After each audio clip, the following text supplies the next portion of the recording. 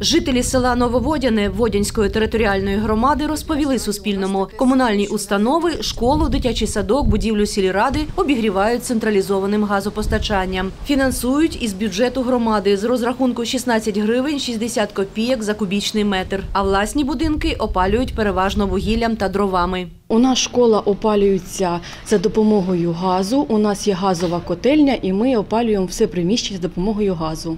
А як ви опалюєте власну оселю Я свою оселю опалюю за допомогою газу.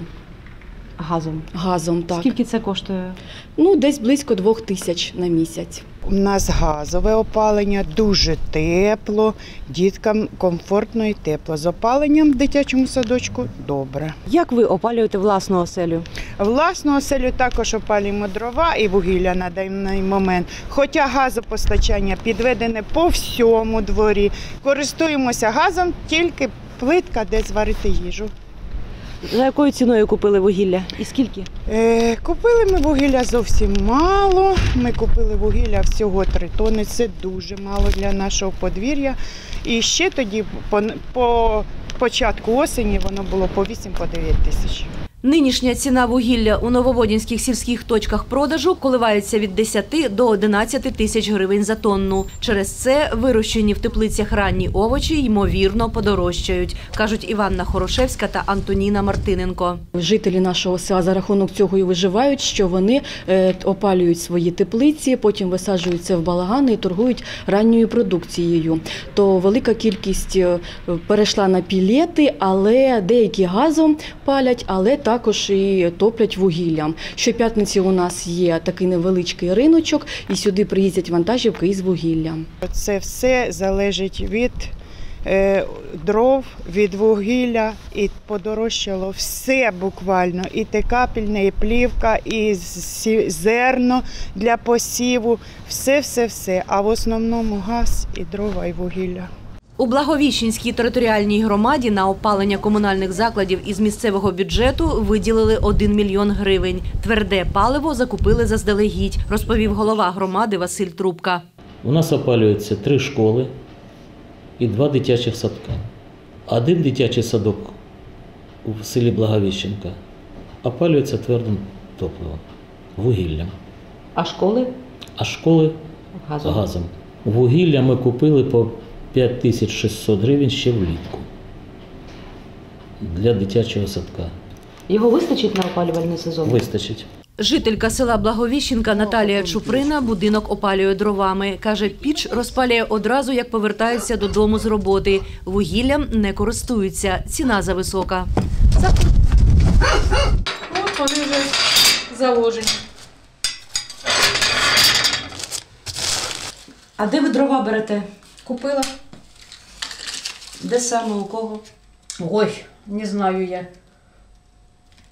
Газелькою возили по підворам, я й купила. А де вони беруть, не знаю. За скільки? Ну на 5 тисяч я купила. Наскільки вам вистачить? Не хватить, до весни не хватить. Будете докуповувати? Так, весною буду докуповувати. Ви знаєте, у мене син каже, ма, яке тобі вугілля, якщо у тебе дров все відпадає. А вугілля, каже, розірве ігру. Ну от груба лопається, ви бачите, яка вона вся полопана. От. І отам оце воно все поотпадало. Високі тарифи на енергоресурси обумовлені їхнім браком на ринку України. Прокоментували ситуацію київські експерти з енергетичних питань Олександр Паращій та Олексій Оржель. Всі сподівалися е, на здешевлення вугілля до кінця року і не поспішали контрактувати е, закупівлі.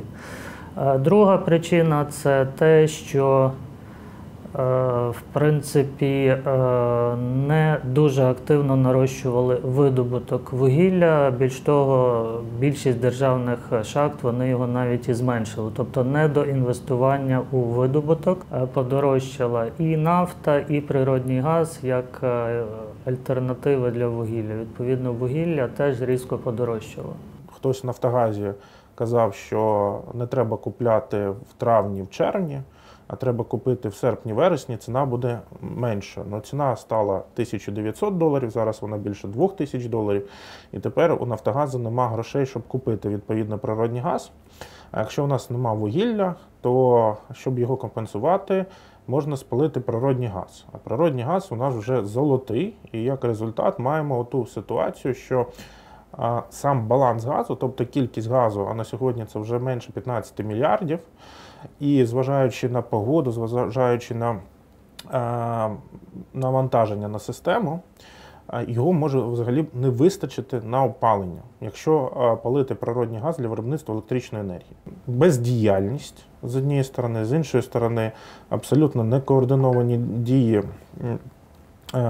і компаній генеруючих, і керівництва галузі. Низькі запаси палива уряд компенсує за рахунок атомних електростанцій, повідомляє портал Ліга Бізнес. Зокрема, у грудні, у період різкого похолодання, українські атомні станції виробляли понад 300 мільйонів кіловат за годину щодоби. А у Запорізької працювали всі шість енергоблоків на максимумі потужностей близько 6200 мегаватт за годину. Про це повідомляє офіційний сайт НАЕК «Енергоатом» із посиланням на міністра енергетики України Германа Галущенка. За його словами, 2022 буде роком розвитку атомної енергетики у державі. Ольга Ларіонова, Олег Стругунов. Новини на Суспільному. Запоріжжя.